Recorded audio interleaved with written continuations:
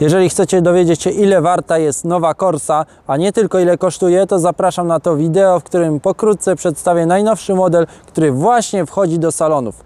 Zobaczymy, jak ten samochód jeździ, jakie są jego zalety i jakie są też wady. Zapraszam.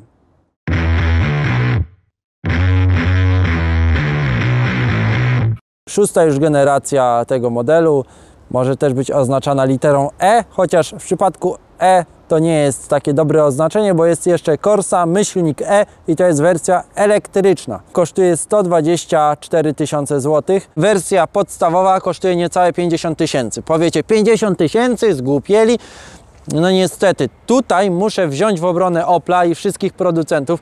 Zgłupieli, owszem, ale nie producenci, a urzędnicy w Brukseli i samochody musiały podrożeć. Producenci dostali bicz, bicz ekologiczny, żeby samochody spalinowe nie były tak dużo tańsze od samochodów elektrycznych, ale dalej są, bo samochód elektryczny, Corsa elektryczna kosztuje ponad 120 tysięcy złotych. Z tym, że Corsa elektryczna może być dofinansowana przez państwo, ale nawet jeżeli uzyskamy dofinansowanie, to i tak za nową Corsę elektryczną przyjdzie nam zapłacić przeszło 87 tysięcy złotych. My do dyspozycji dzisiaj mamy Corsę 1200 o mocy 100 koni mechanicznych, silnik benzynowy, oczywiście wyposażony w turbosprężarkę.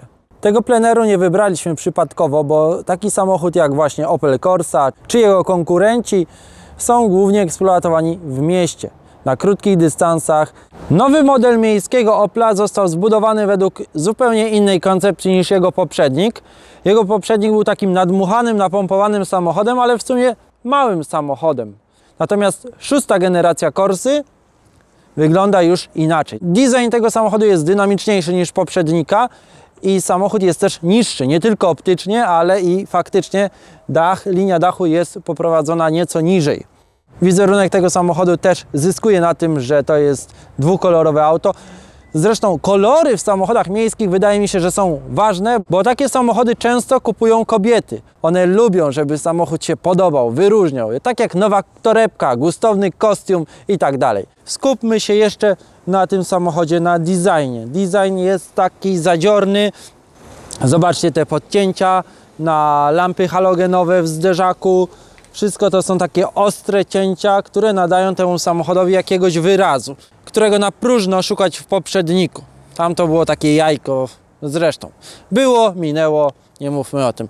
Mówmy o tym samochodzie. Jeszcze krótkie ogłoszenie parafialne. Od 6 do 7 grudnia odbywają się dni otwarte tego modelu w polskich salonach Opla. Dzisiaj kręcimy ten samochód jeszcze przed oficjalną prezentacją, dlatego żebyście zobaczyli ten samochód 6 grudnia, taki mały mikołajkowy prezent. Zobaczymy, czy Wam się spodoba. Jednak polska pogoda ma to do siebie, że w grudniu jest już bardzo chłodno, także wybaczcie mi.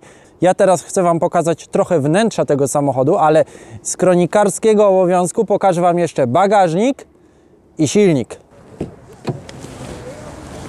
Otwieramy maskę silnika. Otwieranie maski jest bardzo proste, zresztą wszystko w Oplu jest raczej proste, takie intuicyjne. I powiem Wam, że nawet francuskie rządy, pod którymi znajduje się teraz ta marka, tego nie zepsuły i oby tak nigdy się nie stało.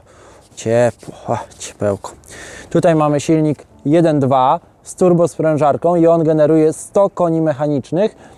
Natomiast yy, podstawowa jednostka silnikowa to jest również silnik trzycylindrowy, ale o mocy 75 koni mechanicznych.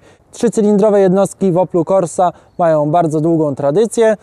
Jest jeszcze wersja 130-konna i ona ma już naprawdę fajne osiągi oraz diesel o mocy 102 koni mechanicznych.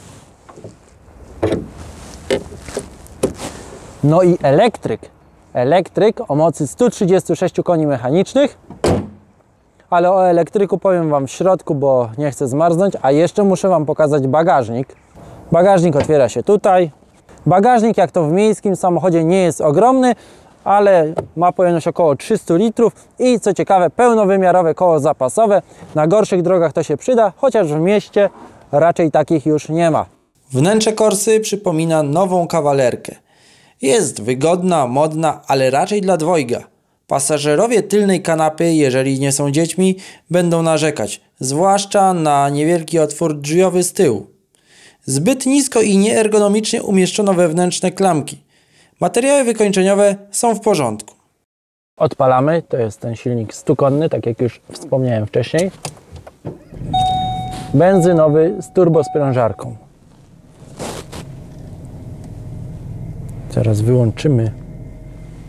Słuchajcie, jest wyłączony nawiew. Jest cichutko. Jest bardzo, bardzo cicho. To mi się podoba. W drogę zatem. Skrzynia biegów to jest 6-stopniowy manual, ale można też zamówić wersję z automatem i to automatem 8-stopniowym. Jeśli chodzi o pozycję za kierownicą, to ona jest taka jak w niemieckim samochodzie. Trochę mi przypomina Volkswagen Polo. Yy, samochód nie udaje minivana, siedzi się nisko. Jakby tutaj siedziała jeszcze koło mnie jakaś ładna dziewczyna, to na pewno byśmy byli dosyć blisko siebie, więc fajnie.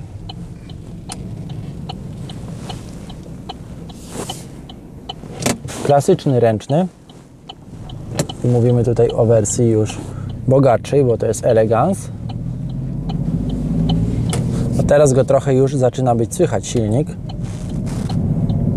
Trzy cylindry, wyraźnie wyczuwalne.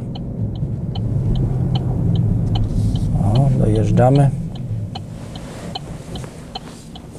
Deska rozdzielcza nie pozwala nam zapomnieć, że jedziemy Oplem. Troszkę przypomina inne modele, jest zbudowana według tej samej zasady. Tutaj mamy ekran, możemy tutaj włączyć klimatyzację za pomocą jego. 19 stopni to trochę za, za mało, ale możemy też tu regulować nawiewy. Tutaj mamy pakiet zimowy, więc podgrzewane fotele, podgrzewana kierownica, bardzo przydatne rzeczy w zimie. Myślę, że każdy będzie się z tego cieszył. Oczywiście możemy sparować telefon. Co zasługuje na pochwałę? Na pewno to, że oprócz sterowania nawiewami przez yy, monitor, to mamy jeszcze możliwość yy, sterowania tym poprzez zwykłe, klasyczne pokrętła, więc nie musimy tutaj wchodzić w jakieś ustawienia, martwić się.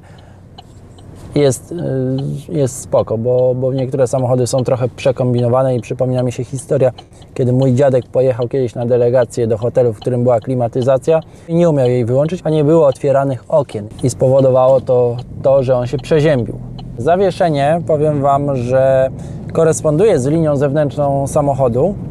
Ja się nie bałem jakoś szybciej wjechać w zakręt, chociaż też nie szalałem, bo do tego samochodu pewnie jeszcze nie ma części zamiennych, bo jeszcze nie było jego oficjalnej premiery. Stoimy pod światłami, więc warto wspomnieć o przyspieszeniu. Od 0 do 100 to jest 9,9 sekundy przy tym silniku. Ale na przykład silnik elektryczny jest bardzo ciekawy, jeśli chodzi o przyspieszenie właśnie, bo on do setki przyspiesza w 8 sekund, to jest ok, jak najbardziej, to jest 136 koni, 8 sekund do setki jest ok, ale jeśli chodzi o przyspieszenie od 0 do 50, to już działa na wyobraźnię, bo ma niecałe 3 sekundy, 2,8 sekundy. Te osiągi to też zasługa niewielkiej masy. Opel chwali się tym, że nowa Corsa jest o 100 kg lżejsza od poprzedniczki. Przy tym wymiary plus minus pozostały te same. Jeszcze słowo o wyposażeniu, chociaż miałem już o tym nie mówić i nie czytać cenników, ale na przykład bardzo mi się podoba to, że ma inteligentne, długie światła. Polega to na tym, że jeśli jedziemy ze światłami długimi, drogowymi za miastem, one się wyłączają w momencie, gdy samochód jedzie z przeciwka i potem znowu na powrót się uruchamiają. To jest bardzo wygodne. Zawieszenie jest bardzo dobrze zestrojone, ale nie martwcie się, zawieszenie chociaż jest sztywne, to nie na tyle, aby waszej babci wypadła sztuczna szczęka. O teściowej nie wspominam, bo to jest temat rzeka. Natomiast nie obraziłbym się, gdyby skrzynia biegów miała krótsze skoki lewarka, szczególnie, że mamy do czynienia z miejskim samochodem. Nasza jazda próbna dobiega końca. Ja muszę się już mentalnie przyszykować na samochód klasyczny, który pokażę Wam najbliższą niedzielę. A jeśli Wam podobał się mój program, mój test samochodu współczesnego, to poproszę o łapkę w górę, komentarz. Piszcie, czy testowanie tego typu samochodów na moim kanale ma w ogóle sens, a jeżeli tak, to jakich. Do zobaczenia